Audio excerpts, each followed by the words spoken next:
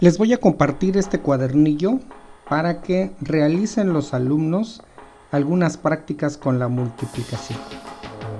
Se presentan de esta manera, empezamos con multiplicaciones sencillas, poco a poco se va incrementando la dificultad.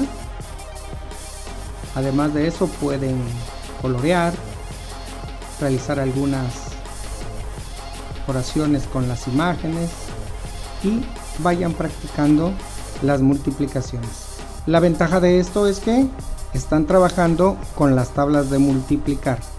La idea fundamental es que practiquen las tablas de multiplicar y que no sean multiplicaciones muy complejas que limiten el accionar de los alumnos.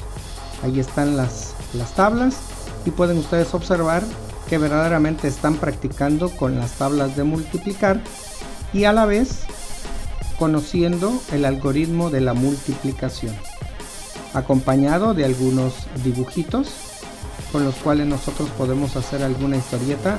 Aquí ya aumentó a tres dígitos la multiplicación. Regresa nuevamente a dos dígitos.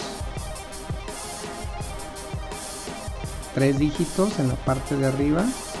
Y ustedes podrán descargarlo en el enlace que les dejaré para que puedan utilizar este cuadernillo en PDF. Les recomiendo que aparte de que lo usen ustedes, lo puedan intercambiar con algunos compañeros maestros y maestras.